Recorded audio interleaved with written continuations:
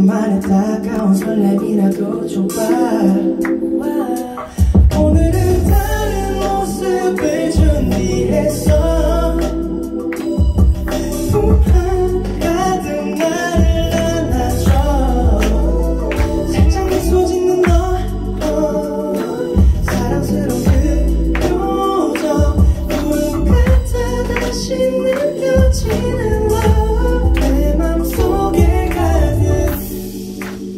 더 신나게 잡아주셔도 좋을 것 같은데